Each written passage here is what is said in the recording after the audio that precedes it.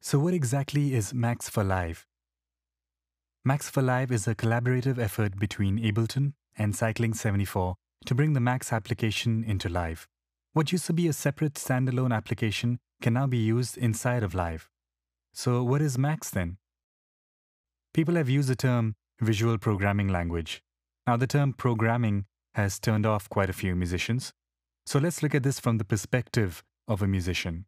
Think about this scenario an electric guitar player hooking up the guitar to a string of guitar effects processors, one after the other, like a distortion unit, tremolo, delay, and a wah wah pedal.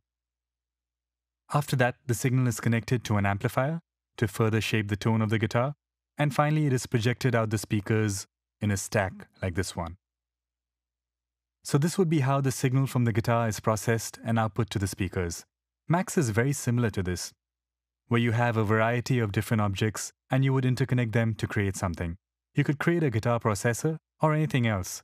Max is kinda open-ended like that. Now in the guitar signal example, you could move around objects in the signal chain, which would lead to a variation in the resulting guitar tone. You could even swap out specific objects to further modify the resulting tone. But there are some things that you can't do, like this. If you know a thing or two about electric guitars, you will know that you can't connect the output of a guitar processor to a guitar, or you can't connect a guitar directly to speakers.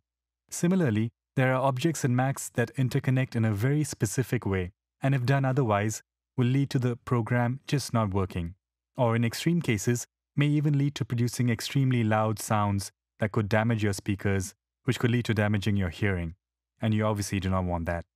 So to understand Max, you will have to learn about objects in Max and how to connect them up with other objects. Now there are a huge variety of objects that will make it impossible for us to cover in a couple of hours, so we will stick to some of the essential ones.